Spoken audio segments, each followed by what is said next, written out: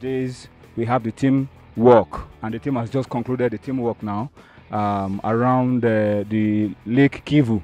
The boys went around the lake and walked back to the hotel uh, from the Gorillas uh, uh, hotel here, very close to Lake Kivu. So they've concluded the uh, teamwork now.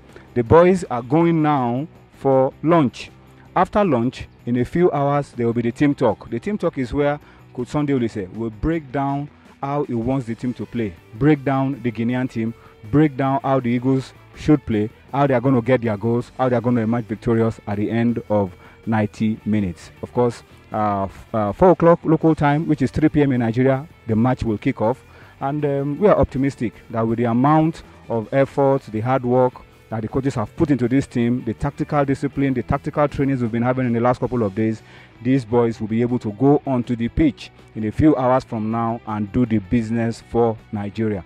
Once again, I can only urge you uh, everyone watching on the Super Eagles official YouTube channel to keep praying, to keep supporting uh, the Super Eagles of Nigeria, so that at the end of today, we will have the ticket to the quarterfinals of the 2016 African Nations Championship in our pocket, and we'll also have ended Group C as group leaders. Of course, that's our hope and our expectation. But for you, thank you. We'll see you at the end of the 90 minutes when we are jubilating and celebrating. But thank you for watching. Bye bye.